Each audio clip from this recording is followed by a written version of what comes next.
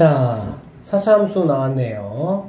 구간 여기에서 뭐 감소한다 이런 얘기가 되겠지. 그치? 그러면 4차 함수 같은 경우는 우리가 이제 그래프를 한번 좀 생각을 한번 해보면 뭐 이런 식이 될 수도 있는 거고 그치? 그 다음에 이렇게 움찔이 되면서 이런 식으로 이렇게 이렇게 극대가 있는 상황도 있고요. 이렇게 극소만 있는 상황도 있겠지. 그치? 그 다음에 이제 뭐 이렇게 와서 여기서 이제 움찔이 되는 경우 있을 것이고요. 휘리릭 한 다음에 이렇게 되는 경우 있고 내려와서 휘리릭 되는 경우 있고 그 다음에 이제 2차 함수 같은 이런 형태가 있다라고 보면 되는 거야. 이런 케이스를 거의, 거의 뺀다라고 보면 이렇게 놓고 보시면은 이제 이런 친구들이 우리가 주로 4차 함수에서 만나게 될 친구들이다 라고 보시면 되겠습니다. 알겠죠? 자 이런 것들은 당연히 어떻게 되는 거냐 여러분 알다시피 얘는 극대극소가 몇 개입니까? 3개지. 극대극소가 3개라는 거는 도함수의 근이 3개다 이런 뜻이 되겠지. 그리고 얘는 움찔이잖아 움찔. 움찔은 뭡니까? prime 도함수의 근이 중근일 때 되는 거지. 그래서 중근하고 그냥 그냥 근 하나 가질 때는 이런 식의 모양이 되고 얘는 근은 하나밖에 없어. 그러면은 이렇게 휘리릭이 되는 경우는 뭐니?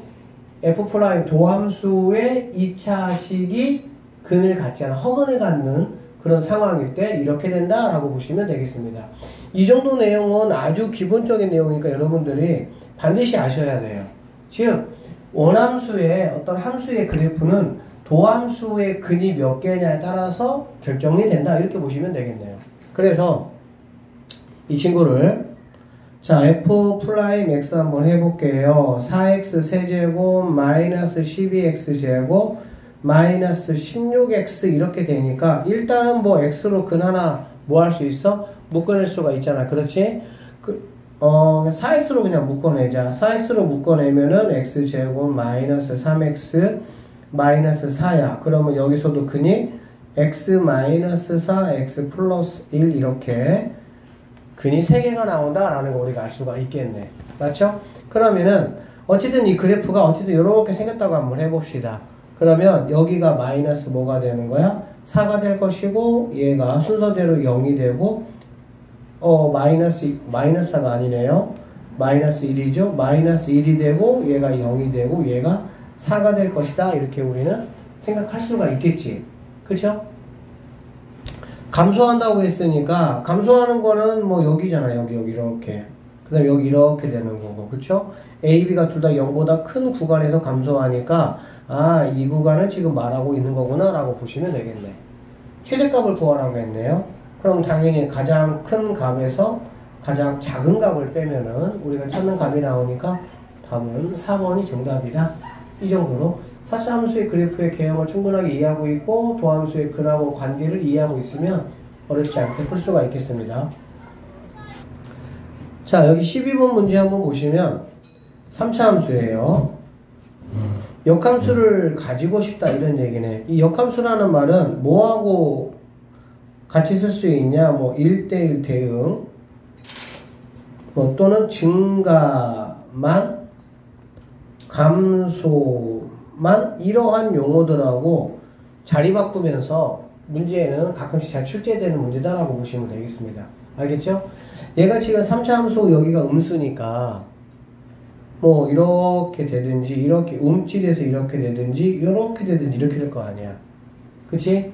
그런데 역함수를 갖는다든지 1대1 대응이 되려면 증가 또는 감소만 있어야 되니까 이런 상황은 안 된다라고 보시면 되고 이렇게 두 가지 상황이 가능하다라고 보면 되겠지. 지금 이 단원 이름이 뭐니? 도함수의 활용이야. 즉 도함수 없이는 모든 문제 풀 수 없어요. 그러니까 도함수를 가지고 판단하는 거야. 그러면 얘는 도함수의 근이 몇 개야? 한 개가 될 것이고 얘는 도함수의 근이 몇 개가 되는 거니? 없는 상황이 되겠지? 그러니까 근이 없거나 한 개인 상황, 즉 판별식이 0보다 작거나 같다 이렇게 해서 A의 범위를 구하시면 된다라고 보시면 되겠네. 뭐 충분히 이해되죠? 뭐 어렵지 않은 거니까.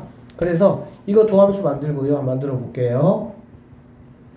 마이너스 12x제곱 플러스 2ax 마이너스 3입니다. a, b, c에서 판별식 짝수니까는 뒤로 블라블라 하시고 이렇게 해서 a의 범위 여러분이 구하시면 되겠습니다. 극대하고 극소 이야기 좀 하고 있네요. 3차 함수입니다. 이거의 극소값이 2를 갖는다. 극대값은 누구냐? 이런 얘기가 되겠지. 그쵸? 3차 함수 양수니까 그래프 모양이 이렇게 될 것이고 그러면 아 여기가 극대가 될 것이고 여기가 극소가 된다. 이렇게 보시면 되겠지. 맞죠? 그러면은 이거의 도함수인 f prime x 3x 제곱 마이너스 3이니까 풀마 1에서 뭐가 된다는 거야? 극대극소가 되겠구나 정도를 알 수가 있겠지. 그러면 얘는 뭐 마이너스 1, 얼마라고 보시면 될 거고요. 여기는 1, 극소값이 1이니까 1이다 이렇게 보시면 되겠네. 맞습니까? 그러면은 뭐 여기는 1, 1을 여기다가 집어넣어서 K값 클리어 해주시고 그 다음에 이제 뭐 이 친구 구하는 거니까 여기다가 마이너스 1 집어넣어서 극대값 구하시면 끝나는 그런 문제가 되겠습니다. 구해보시면 답은 3번이 나옵니다. 14번 한번 넘어갈게요. 사실 뭐 이런 문제들은 그냥 가벼운 문제들이지 계산 문제들 4차 함수는 서로 다른 두 상수 A, B에 대해서 여기에서 극소다 라고 얘기했네 4차 함수가 얘가 이렇게 생겨야 될 거야 그래야 극소가 몇 개가 나올 수가 있어? 두 개가 나올 수가 있다 이렇게 보면 되겠지 그치? 그러면은 당연히 도함수가 0이 되는 위치가 3개가 있을 것이고 제일 작은 거하고 제일 큰 거를 지금 한번 찾아봐라 이런 문제라고 보시면 되겠습니다. 맞죠? 그래서 f prime x를 구해보시면 4 내려오니까 x 세제곱이 되고요. 3 내려오니까 x 제곱이 되고요. 2 내려오니까 마이너스 6x 이렇게 돼서 x로 묶으면은 x제곱 마이너스 x 마이너스 6 이렇게 되겠네. 인수분해 해보면 x 마이너스 3, x 플러스 2니까 0, 3, 마이너스 2. 그러면 제일 작은 거하고 제일 큰 거 찾는 거니까 제일 작은 거, 제일 큰 거 이렇게 찾으시면 되겠습니다. 두 개 더해봐라 답은 얼마야? 4번이 정답이다. 이렇게 보면 되겠죠. 15번 문제 한번 보도록 할게요. 자, 3, 3차 함수가 있습니다. x 이퀄 a에서 극대값을 갖는다. 근데 여기 보니까 지금 전혀 미지수가 없잖아. 그렇지? 미지수가 없으니까는 뭐 극대값 구하는 a값은 충분히 우리가 알 수가 있겠지. 맞죠?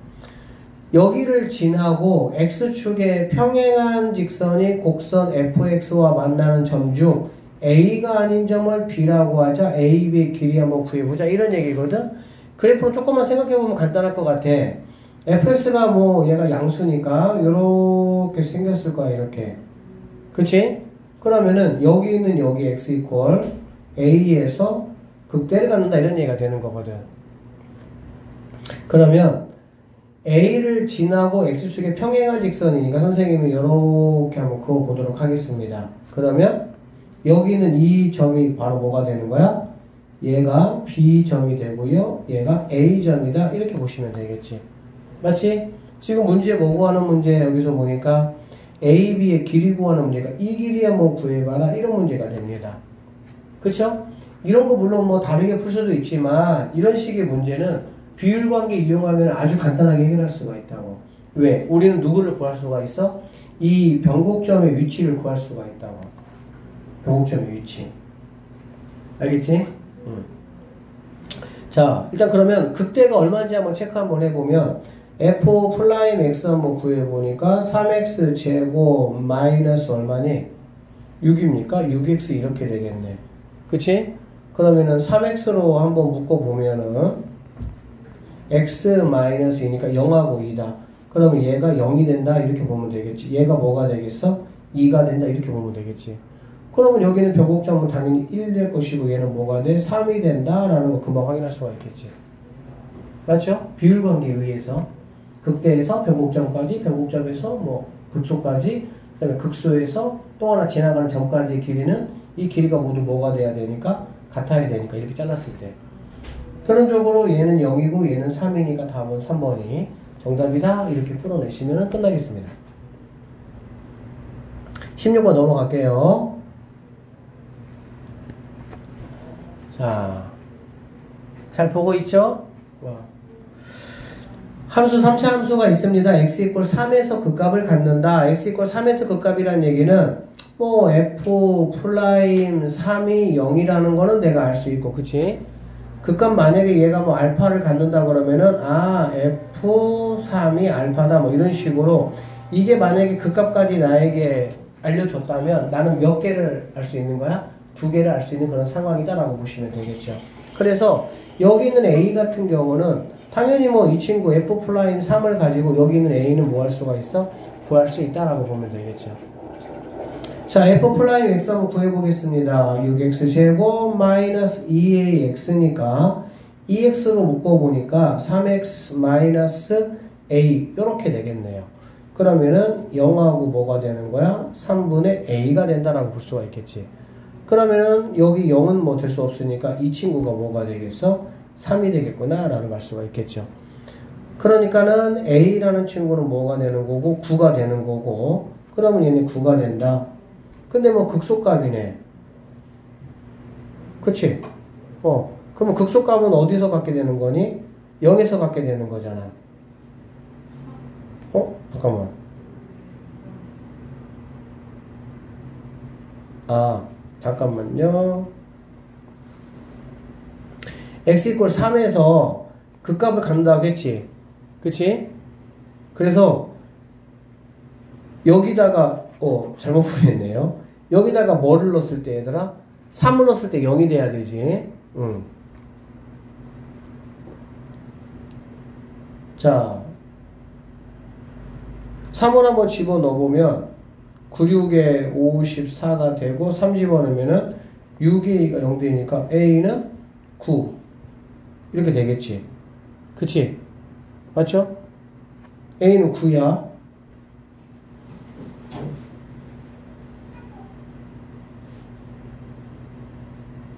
그러면 이 3차 함수 그래프가 이렇게 생겼을 것이고 여기 보니까 지금 여기 x 이퀄 0이고 얘가 x 이퀄 뭐가 되는 거니? 3이 된다라는 걸 알 수가 있잖아. 맞죠? 자, 극소값 구하라고 했으니까 여기 위치를 내가 체크하면 된다라고 보면 되겠네. 그러면 여기 있는 이 x에다가 뭐 집어넣는데 3 집어넣어서 마무리 계산만 해주시면 되겠습니다. 17번 문제도 뭐 그냥 계산 문제인데 4차 함수가 이렇게 있습니다. x 이퀄 1에서 극값 이걸 갖는다. 여기서 주는 힌트가 몇 가지라고? 두 가지란 얘기지. 뭐 f1이 뭐 3이다 정도. 그 다음에 f prime 1이 뭐다? 0이다. 이렇게 될 수가 있겠지. 맞습니까? 그러면 이거 두 개를 가지고 여기서 우리가 뭐 a, b 값을 뭐 할 수가 있어? 구할 수가 있다. 이렇게 보시면 되겠네요. 맞죠?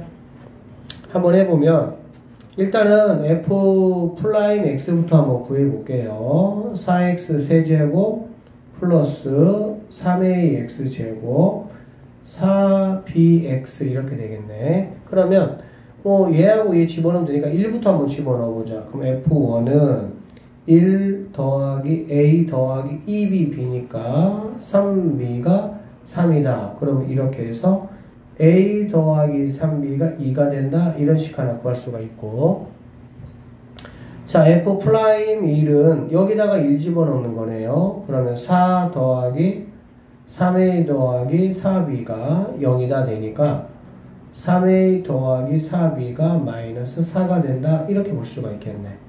뭐두개 연립해가지고 a, b값 구해보시면 a는 마이너스 4가 되고요.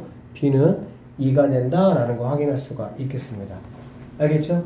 그러면은 뭐 A하고 B 한번 넣어서 세팅 한번 해보면 어 1에서 극값, 그 다음에 C에서 극소값, 그 다음에 2에서 뭐 극소값 이렇게 얘기했으니까 일단은 여기 도함수에다가 먼저 한번 A 넣어볼게. 그러면은 F prime X가 뭐가 되냐면 4X 세제곱이 되고 A가 마사니까 마이너스 12x 제곱이 되고 b는 2니까 플러스 뭐가 됩니까? 8x가 되겠네요. 그래서 얘는 4x로 묶어보면은 x 제곱 마이너스 3x 플러스 2가 되니까 x 빼기 1 이렇게 되는 걸알 수가 있겠다. 그래서 뭐 0, 1, 2가 될 것이고 a, b 값 여기다가 집어넣어서 이제 뭐 극소값, 극대값만 구해서 쭈르륵 더해주시면 그냥 되는 그냥 계산 문제입니다. 아무 뭐 의미 없죠 사실 얘는 18번 한번 보도록 할게요. 3차 함수가 극값을 갖도록 하는 자연수 A의 뭘 구하라고? 최소값을 구하겠어요? 극값을 갖는다는 거는 3차 함수 양수잖아. 그치? 양수니까는 요렇게 되거나 움찔, 그 다음에 휘리를 까는데 이런 거는 아니다. 이런 얘기가 되겠지. 얘만 가능하다. 그래야 극값을 뭐할 거니까? 가질 거니까. 그러면 f prime x의 근이 몇 개라는 얘기야? 두 개가 돼야 된다는 얘기지. 그러면 f prime x의 판별식이 0보다 뭐 하면 됩니까? 크면 된다. 이렇게 뭐 계산하시면 되겠습니다. 그래서 f prime x 한번 구해보면은 3x 제곱 2ax 더하기 a가 될 것이고 판별식 a 제곱 마이너스 3a가 0보다 커야 된다. 0하고 3이잖아 a가 이렇게 뭐 작거나 3보다 크다 이렇게 되겠네. 그치? 그래서 자연수 a의 최소값을 구하라고 했으니까 답은 뭐 4가 정답이다 이 정도 풀면 될 것 같습니다.